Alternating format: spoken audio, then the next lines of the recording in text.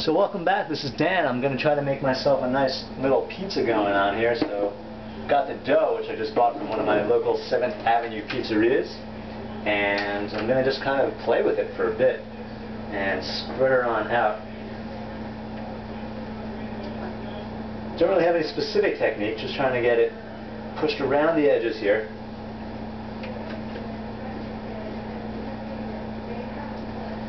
Those of you that don't know, Thursday is a traditional pizza night in my family. And for years I've just been bringing in Sicilian, bringing in cheese, bringing in different kinds of topping pizza, but of late I've decided to see if I could do it myself at home. This dough cost me $3.50 and it's spreading out really nicely. You could also you could also go to Whole Foods and they sell the same dough for about $1.50. So you do save a little bit on cost, plus the benefit of knowing that you're making it yourself. It's kind of a nice feeling.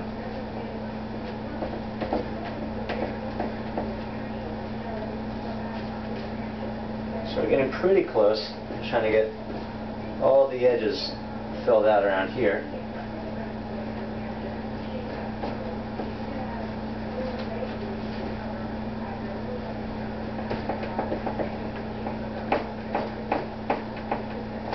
Okay.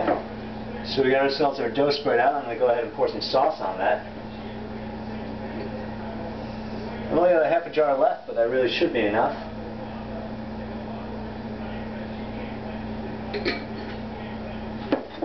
And then just follow the technique that they use in the pizzerias.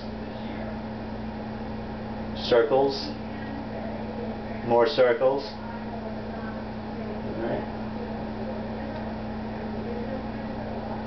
Don't want to over sauce it.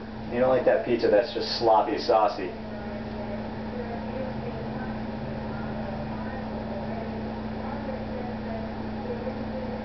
I do want to make sure I get all the dough covered. Okay. And you could even eat the sauce if you like. That's delicious. I'm going to go ahead and slop some ricotta cheese on this.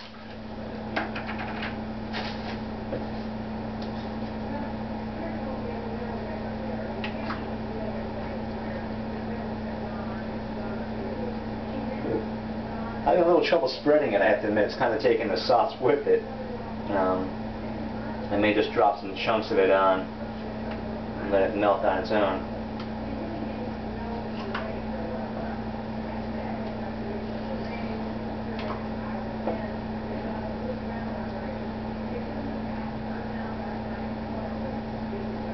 Okay.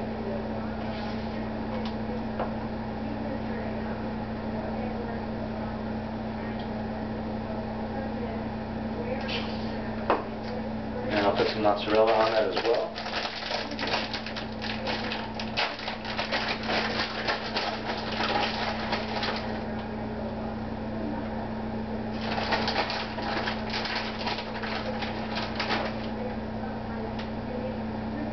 And you can put any kind of topping on your pizza, obviously.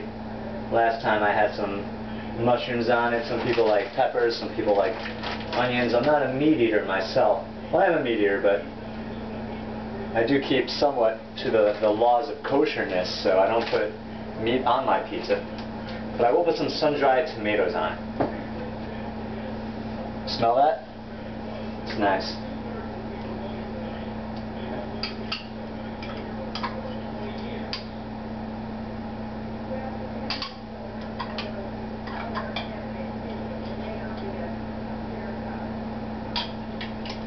This adds a nice little spice to it. It's a nice texture. It's really a very short process, I have to say.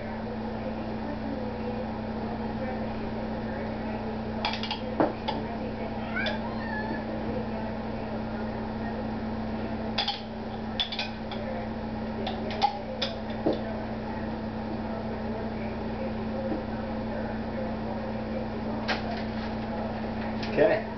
So here's what it looks like before the oven. Oven is set to 450. I'm going to pop it in for about 15-20 minutes, and we got ourselves dinner. See how it goes. Okay. Okay. Until then, signing off. Cheers.